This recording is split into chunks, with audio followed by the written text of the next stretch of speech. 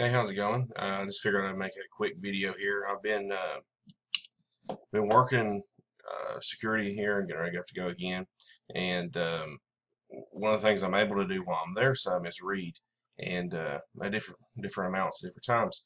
Uh, one thing I've been doing is going through the Book of Revelation. Um, one reason is just to brush up myself because my pastor's getting ready to go through it again. I think at church. And another reason is I want to uh, kind of compare what the modern versions have as opposed to the King James. Uh, when I did study the majority of Revelation the first time, I studied it from an ESV.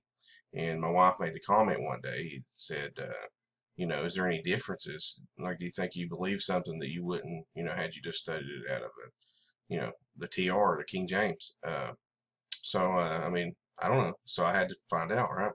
Um, and, you know, long story short, no. Uh, maybe one thing, uh, which I won't even show in this video because I've shown another one, which has to do with the interpretation of the of the 24 elders. Um, other than that, uh, that reference, the whole video, you can go look it up. It's on my channel. Um, I, I, what I found is really usually minor. Now, when I say minor, it's major if we're talking about inerrancy. It's major if we're talking about what's the true text of Scripture. Uh, but it's minor if we're talking about, you know, if you read an NASB and I read a King James, are we going to have radically different, you know, understandings of the book of Revelation? Or are we going to come to different interpretations at points? Um, that's more what I was concerned with, and that's what I look for. Now, I did look for in my study here basically all uh, what I would call meaningful differences. Uh, now, if you wanted to go through this, I realized really quickly and find just any difference that you possibly can. I think one time I heard uh, D.A. Waite say that he went through the Gospels alone and counted thousands upon thousands of er, errors to the hear. What it sounds like is he just put on a tape and read as he heard it and just marked, you know, how many differences there were. Uh, that's not what I did. I actually took word by word and I kept going back and forth, uh, reading line by line the differences. Now, uh, if you wanted to count like, I wouldn't even say plurals because I did count some plurals uh, because that does matter for interpretation. Uh, but if you count every synonym as different, like someone ignorant like Michael, Michael Brown does, then you're going to have hundreds, hundreds of differences in just the 404 verses that are in Revelation. Uh, maybe more differences than there are verses, honestly if you're just going to count every minute little thing. But I don't think that that's a difference. I think that a real difference is something like I have highlighted here or that I show you in these other few places. Um, I'm talking about real differences where the meaning of the text change changes and there probably is a textual difference. Now, I didn't have the ability to sit here with Greek and go back and forth Greek and that would take me forever and I'm honestly not qualified to do that. You'd want to be uh, very fluent in the, in the original languages to be able to compare Greek and Greek uh, throughout an entire book. That would take someone like me a year, uh, as opposed to I can go through English in just about a week or so, like I did. So, uh, very easy for me to compare, and I understand that this doesn't get to every single textual difference because there is different Greek behind each one, even if they come to have similar uh, translations. Um, I understand that, but I mean, simple enough. This is this was more of an applicable study. Okay, um, I wanted to do a study that applied to actual people and to myself, and then throw it out here. And if anybody wants to, you know, go take the data that I have and what I've come to the conclusion of, then so be it. If not, whatever. But this has been an applicable study for me, and I'm just sharing what I learned. Um, it, it's it's not so much about finding every little minute difference in the text, I already know that the Textus Receptus is the pure text. Um, I believe that. But the critical text, how different is it than the TR when we come to Revelation? Someone like James White will almost put out there and have you think that it is so radically different. Uh, you hear him say there's readings in Revelation that no one has ever heard of. Uh, you know, Erasmus just did this and that. And yet, when you come to do this, you see very quickly that there is very, very few uh, meaningful differences in the book of Revelation. And it's, it's encouraging uh, because what it does show is that regardless who you are within the Christian community, if you've not been enlightened to the things of, you know, the errors of textual criticism, um, and you're using a New American Standard, praise God, you're still getting the the truth of God and most of the un, unmutilated truth of God. So I'm just going to talk as I go here. Uh, I will say this in passing. There's one more thing uh, I would point out. The end of the book of Revelation has uh, Book of Life or Tree of Life and a couple of readings I could have highlighted. Uh, there's probably more differences in just a few places in the book than there are in the rest.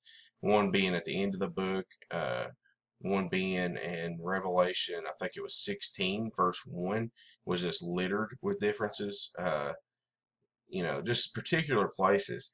And um, I'm just, since this is all off the cuff anyways, um, I would add this.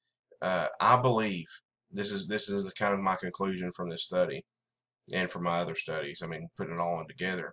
I believe that I could prove, uh, if, if you were beside me, throughout this whole study, I believe you would agree with me in saying this.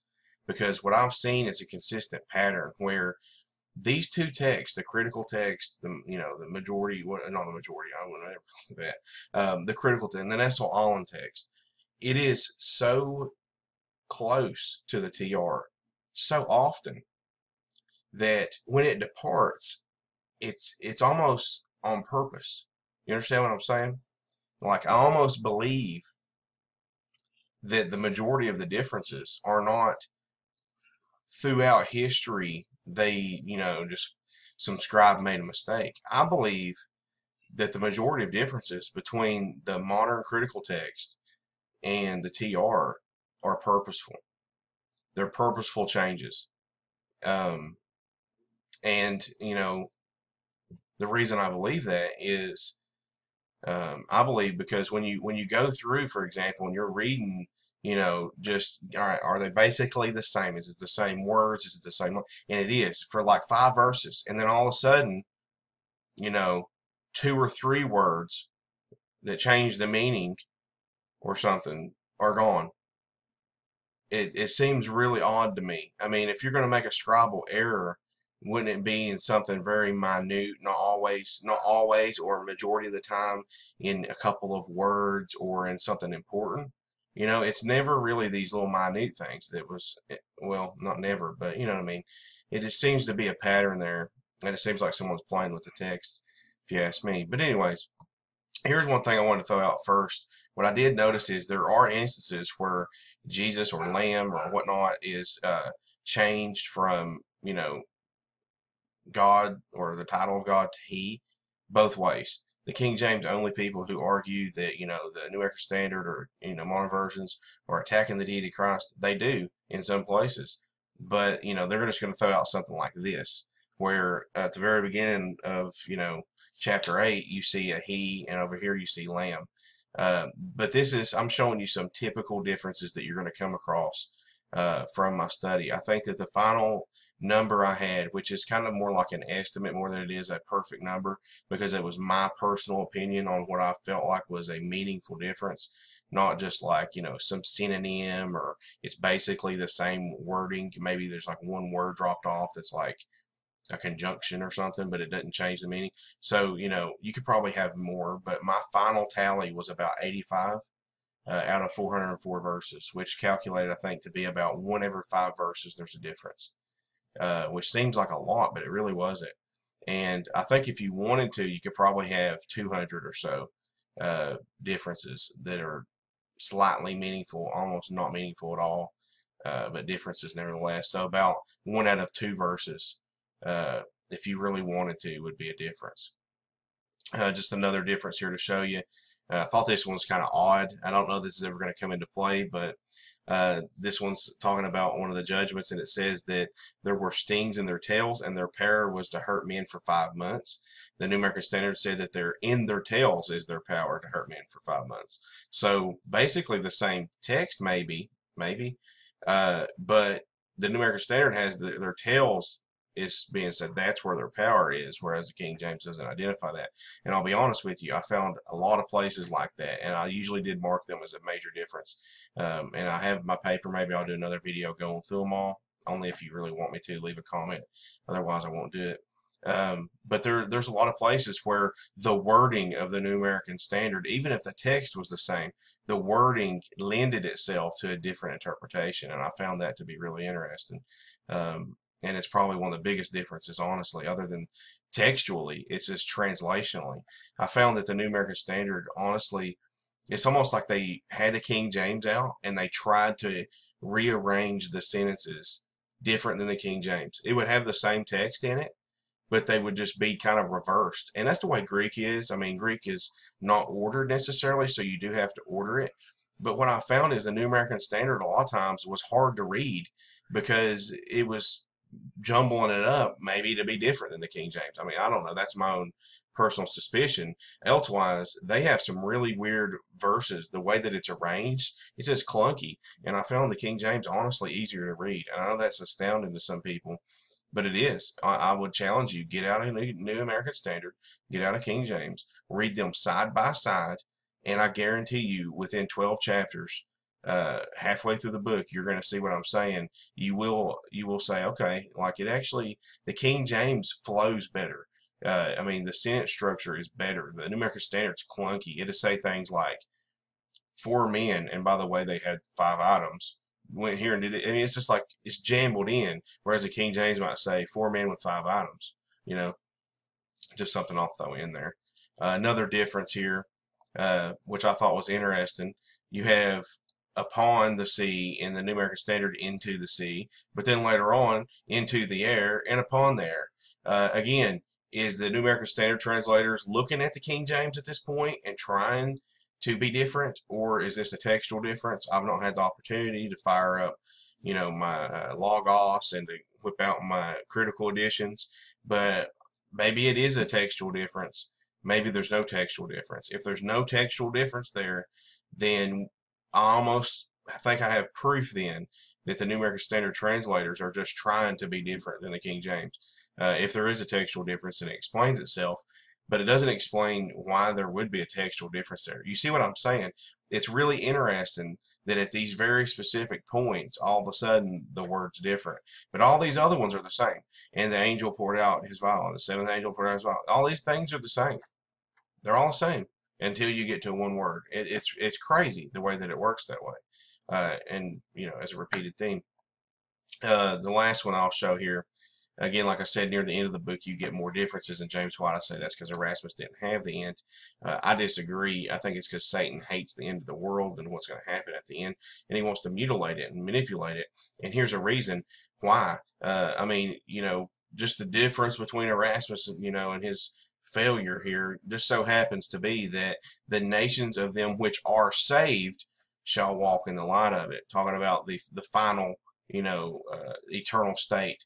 Uh, whereas in the New American Standard, the nations will walk by its light, and the King of the earth will bring the glory into it. Um, not those which are saved. It takes the takes the blade off. Uh, there's no warning there. Oh, am I saved? Do I want to be there? Is it a, is it exclusive? The exclusiveness is cut off. It's just all the nations of the world. You know, will context drive that and, and show you anyways that it's only saved people at that point? Should, but doesn't mean it would. Uh, trust me. And only people who act like it's guaranteed it would are people that's never talked to lay people who have weird views and they need every word of God to be convinced sometimes, which would include are saved. Um, another thing interesting here, if you notice at the end of this verse, uh, they bring their glory into it, whereas in the King James, they bring their glory and honor into it. And then later on, they both get it the same. In verse 26, glory and honor of the nations into it, and glory and honor of the nations into it. So, why does the New American Standard all of a sudden just drop off, uh, you know, and honor into it? Makes basically no sense. Uh, you know, what that probably is, is the editors of the New American Standard with their own stupid you know, logical conclusions saying, well, they're more likely to uh, add than delete. Therefore, these few manuscripts that don't have an honor into it are probably the right ones. You know, some moronic logic like that probably led to that. But anyways, you know, figured I'd just throw some stuff out there for my study. It took me probably around 10 hours to do that um, and to do what I've done. If you got any questions, drop me a comment. Uh, otherwise, uh, I'll be making a video on the Michael Brown garbage here soon. Till then, God bless.